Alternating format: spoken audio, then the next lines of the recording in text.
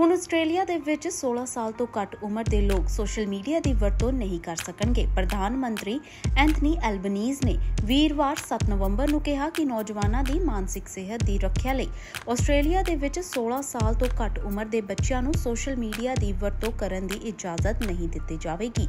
ਨਾਲ ਹੀ ਸਬੰਧਤ ਕੰਪਨੀਆਂ ਨੂੰ ਨਵੇਂ ਨਿਯਮ ਲਾਗੂ ਕਰਨੇ ਪੈਣਗੇ ਜਾਂ ਫਿਰ ਜੁਰਮਾਨਾ ਭਰਨਾ ਪੈ ਸਕਦਾ ਹੈ। ਪ੍ਰਧਾਨ ਮੰਤਰੀ ਦੇ ਅਨੁਸਾਰ ਇਸ ਨਾਲ ਸੰਬੰਧਿਤ ਇੱਕ ਬਿੱਲ ਇਸ ਸਾਲ ਆਸਟ੍ਰੇਲੀਆਈ ਸੰਸਦ ਦੇ ਵਿੱਚ ਪੇਸ਼ ਕੀਤਾ ਜਾਵੇਗਾ। ਪ੍ਰਧਾਨ ਮੰਤਰੀ ਐਂਥਨੀ ਐਲਬਨੀਜ਼ ਨੇ ਕਿਹਾ ਕਿ ਸੋਸ਼ਲ ਮੀਡੀਆ ਪਲੇਟਫਾਰਮਾਂ ਦੀ ਇਹ ਜ਼ਿੰਮੇਵਾਰੀ ਹੋਵੇਗੀ ਕਿ ਉਹ ਪਹੁੰਚ ਨੂੰ ਰੋਕਣ ਲਈ ਸਾਰਥਕ ਕਦਮ ਚੁੱਕ ਰਹੇ ਨੇ।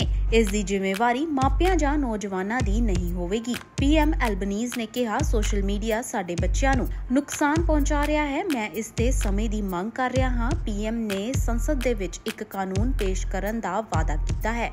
ਕਈ ਖੋਜਾਂ ਦੇ ਵਿੱਚ ਇਸ ਗੱਲ ਦੀ ਪੁਸ਼ਟੀ ਹੋਈ ਹੈ ਕਿ ਸੋਸ਼ਲ ਮੀਡੀਆ ਦੀ ਵਰਤੋਂ 15 ਸਾਲ ਤੋਂ ਘੱਟ ਉਮਰ ਦੇ ਬੱਚਿਆਂ ਤੇ ਮਾੜਾ ਪ੍ਰਭਾਵ ਪਾ ਰਹੀ ਹੈ।